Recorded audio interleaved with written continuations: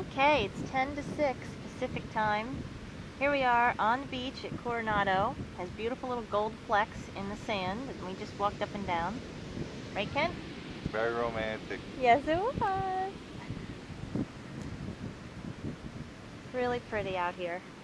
Can't get over. Now there, off in the distance, I don't know if you can see that, that's the Hotel del Coronado.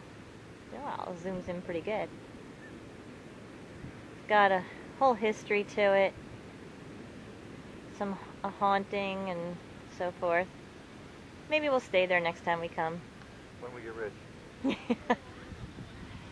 and there is the beautiful Pacific Ocean.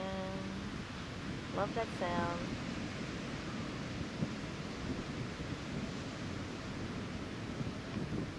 Oh, and in case you're wondering what this bright thing in the sky is, whew, it's called sunlight. We have scored where every day has been sunny and gorgeous with a breeze that's beautiful, no humidity. Cold. Well, for Kent it's cold, but for me it's gorgeous. It's really nice. Where is that 100 degree temperature that I like so much? I need you to come. That's. Well, I don't know. What? Yeah, it's still early. I mean, early enough in September. It shouldn't be hot. Ah, But we're right by the water, so anyway.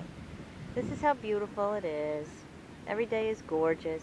Even the days where you wake up and it's kind of cloudy, it's overcast, I think, oh no, and then it, it just burns off. By 10 a.m. and the sun's out, everything's gorgeous.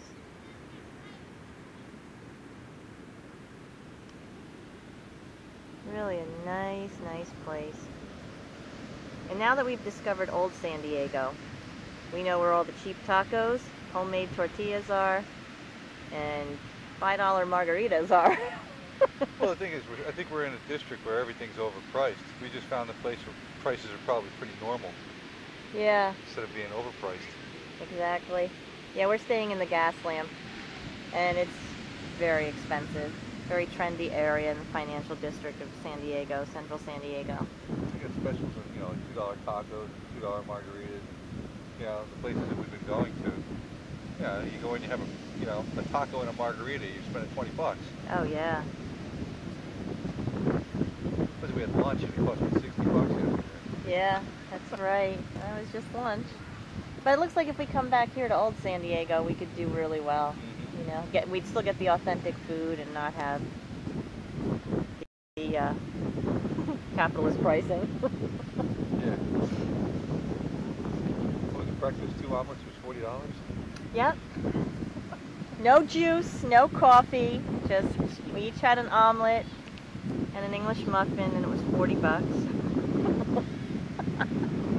Shredded, prepackaged potatoes. Oh yeah, They weren't were they chewy. horrible? They were chewy.